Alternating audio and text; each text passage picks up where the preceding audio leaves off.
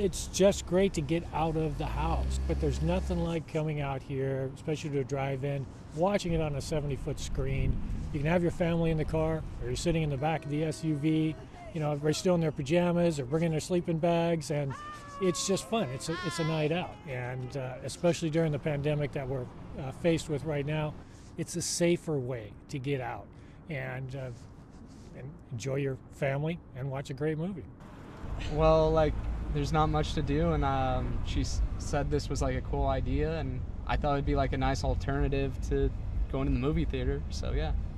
Um, it's our anniversary, and we're like, oh, what can we do? Everything's closed, and we're like, well, drive-in theaters kind of like a self-quarantined movie experience. date. Yeah, We, we go out to movies a lot, so Yeah. we're kind of bummed we can't do that anymore. But yeah. yeah, We have all the employees wearing gloves. He has uh, hand sanitizer. There are two available. So if somebody wants a little squirt of hand sanitizer, we can do that.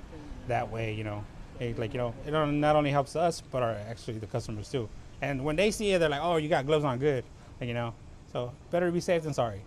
obviously with the restrictions that are put on to food service with the current regulations uh, from the county uh, we're having to space out our customers more everything's takeout we've eliminated our seating around the area tried to reduce some of our menus so it's quick grab and go so people can grab it still enjoy it inside their car Well, we're not going to do the concession because uh, we don't know how many people will be uh, at the concession window and standing around and touching things. And so we bought our own food. We got Shakey's pizza and we got fried chicken. And this week everything has just almost been operating hour by hour. Things are changing rapidly.